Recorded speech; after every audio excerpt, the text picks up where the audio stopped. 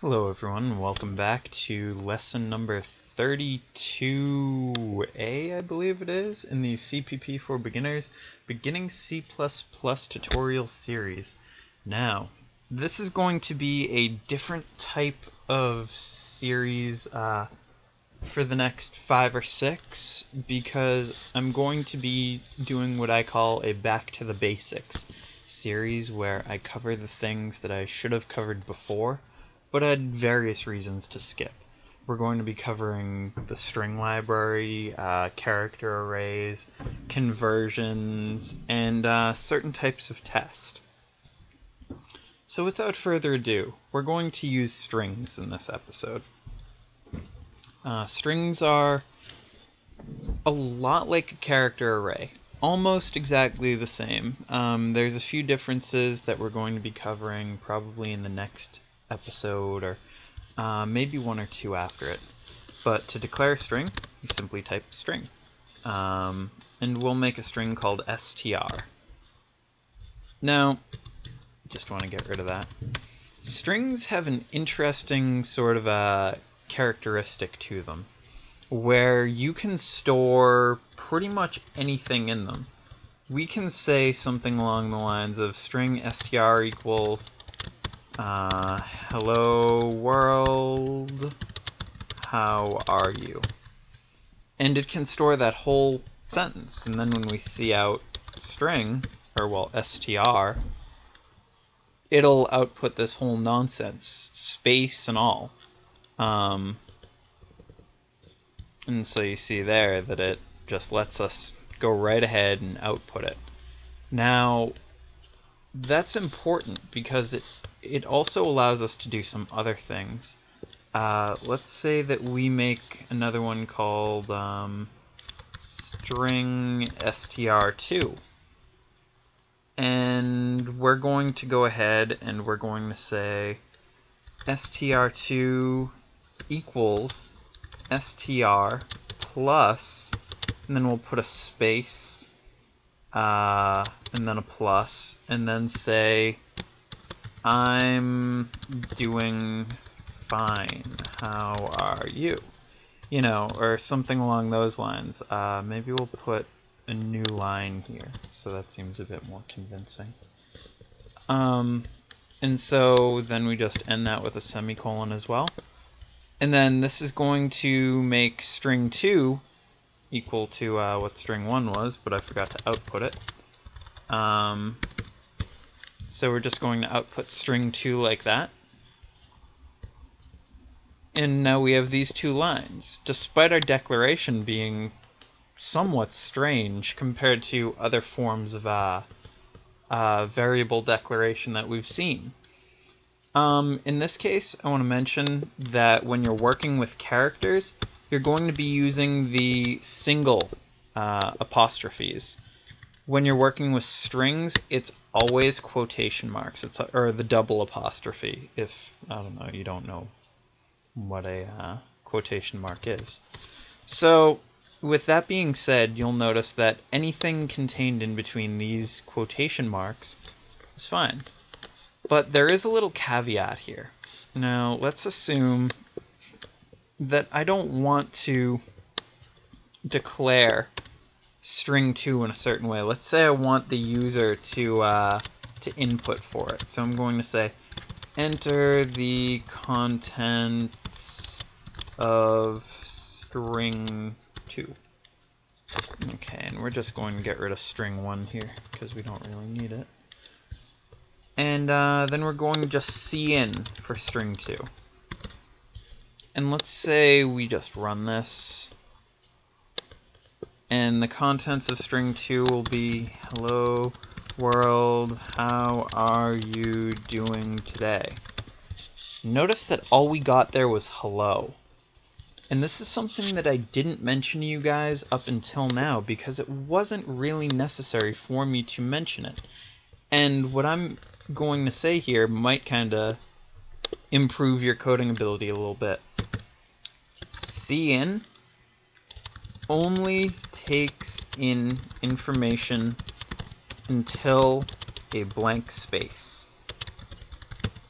So obviously we need to do something that's not going to be just normal cin. And luckily for us, there is just such a thing. It's called getline, and it quite literally gets the entire line that we're working with. And in this case, you can either uh, explicitly declare the size of the buffer. You'll see people do something like that, 256, and then the name of the thing. I just like to type cin um, because it treats it just like a cin.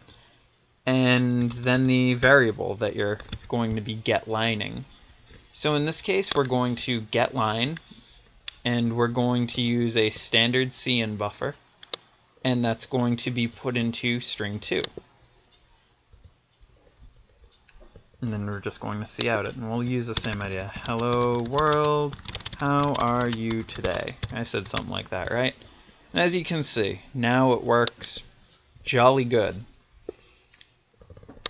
Okay, so that's just simple I/O with string. And at this point, I'm sure you guys are like, "Oh, there's there's more new syntax we have to learn." You know, this this seems a lot more like it's a, a function, which it is. Um, you know, why is it so different? And the reason why is because strings have a lot of functionality that are going to be strange to you. I want to show you guys something. We're going to make a string, and we'll call it a string str3 and str4. And we're going to set actually, you know what, I'm going to do it separate. And we're going to say both of these equal hello world. Okay, right? You see that I just copy pasted it. I, there's no trickery here. Okay, so what I'm going to do here is I'm going to say if str3 equals str4. I'm going to cout there equal and else we're going to cout um, they're not equal.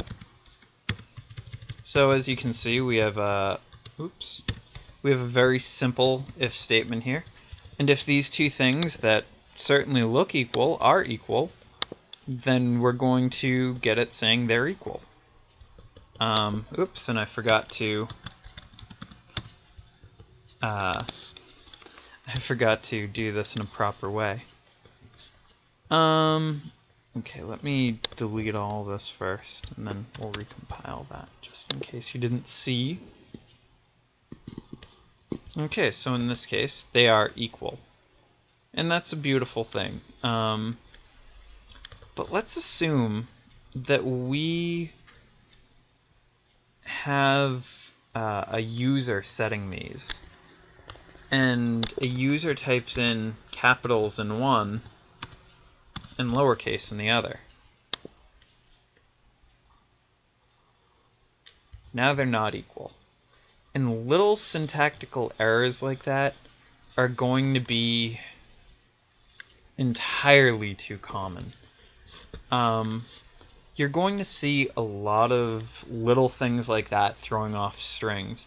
So in our next video, what we're going to do is we're going to be getting used to working with strings, talking a little bit about character arrays and why they're useful as well. And then we're going to deal with uh, some of strings' internal functions. Uh, those can be a lot of different things. Um, I think I'm going to keep it mostly basic uh, I think we're going to touch on string concatenation, we're going to talk about string copying, and uh, string compare. And I think that's all I'm really going to teach you guys as far as strings go. Then we'll hit string stream for validation, and then I think we'll kind of jump back into where we were going. And then we'll hit our case studies. It'll be about lesson 40, 45 when that's all over. And at that point, I think that you guys will be very proficient programmers. So for now, I'm going to leave this off right where it is. Uh, I am Damien. This has been another installment of CPP for Beginners uh, tutorials. Thank you.